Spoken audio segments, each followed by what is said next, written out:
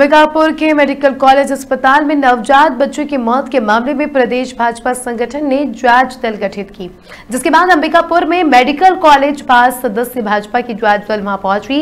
इस दौरान medical college अस्पताल के एसएनसी वार्ड का निरीक्षण किया गया। दरअसल बीते दिनों अंबिकापुर के मेडिकल कॉलेज में एसएनसी वार्ड में चार नवजात बच्चों की मृत्यु के बाद प्रदेश में हड़कंप मच गया था, जिसके बाद प्रदेश में, प्रदेश के स्वास्थ्य मंत्री को भी एसएनसीयू वार्ड का निरीक्षण करने रायपुर से अंबिकापुर आना पड़ा था।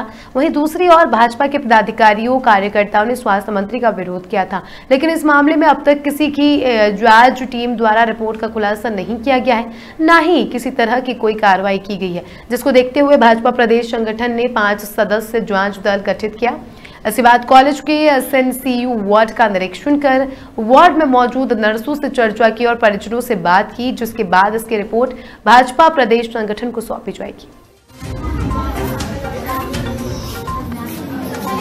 अंबिकापुर जो जिला अस्पताल कहें या मेडिकल कॉलेज में पिछले दिनों जो चार बच्चों की